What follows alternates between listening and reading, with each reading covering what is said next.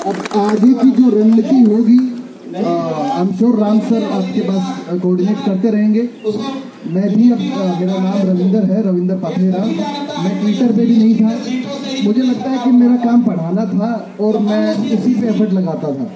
मैं personal level पे जो बच्चे जुड़े होंगे मैं पर्सनल डाउट भी एग्ज़ाम से पहले एक घंटे के लिए मैं कॉल पे अटेंड करता था। उस समय मुझे पता लगा बच्चे किस किस पेन से गुजरते हैं। राजस्थान का एक बच्चा था, उसने मुझे कॉल की कि, सर, मेरे फादर साहब एक्सपायर हो गए हैं। मेरे घर वाले कहते हैं, दो बहनें हैं और मेरे घर वाले कहते हैं कि तू पढ़ाई मत कर, तू कुछ भी नौकरी कर ले, गाँव में खेती कर ले। लेकिन तेरा एग्ज़ाम एग्ज़ाम इस गवर्नमेंट का भरोसा नहीं है, कुछ होगा कि नहीं होगा, तू सेलेक्ट पाएगा। तो कह रहा सर मैंने ना प्रोटेस्ट किया घर पे और मैं प्रिपरेशन करने आकर अभी थोड़ा मेरे को डर लगता है अगर मेरा कुछ नहीं हुआ तो।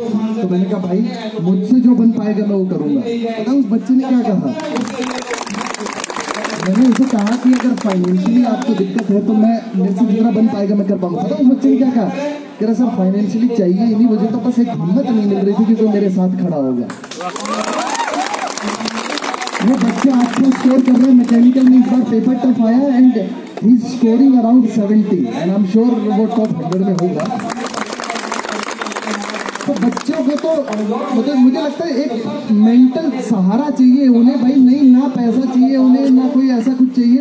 बट बच्चे बड़े पेन के थ्रू गुजरते हैं। ऐसा नहीं होता कि आया मैं, दिल्ली आया, तैयारी की सेलेक्ट हो गया। अरे भाई, हम पे पहले दुख बहुत है।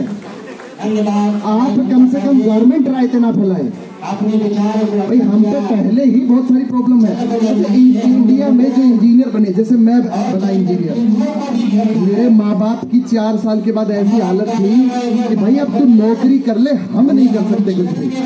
क्योंकि उनका यील्ड पॉइंट आ चुका था। अभी नॉन टेक वालों को तो यील्ड पॉइंट भी समझ नहीं आया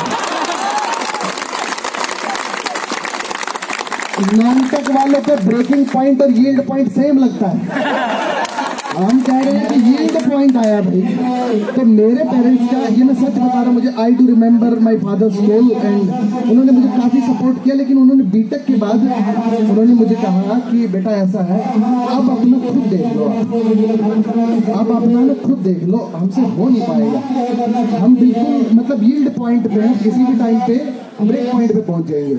I worked for two years in private फिर मैंने पैसा जुटाया। Then I came in to मतलब प्रिपरेशन की मैंने। और लकीली मेरा सिलेक्शन हो गया। एक साल में जनरली मैं तो कहता हूँ कि एक साल में हो नहीं पाता है। बट मेरा पीएससी में हुआ था इंजीनियरिंग सर्विसेज़ के लिए मुझे।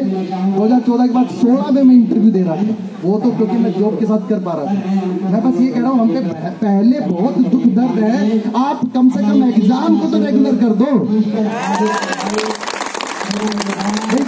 मेरा पहले नहीं हो पाता अच्छा दिक्कत तो इसमें भी उठनी चाहिए कि जब जनता इतनी है तो वैकेंसी इतनी क्यों नहीं क्रिएट करते आप? वैकेंसी इतनी क्रिएट क्यों नहीं करते आप? हम हमने उसमें कभी नहीं कहा मान लिया कि तुम कतई गरीब हो, तुम पैसा नहीं दे पाओगे इंजीनियर को, वैसे टैक्स चाहिए तुम इतना मोटा।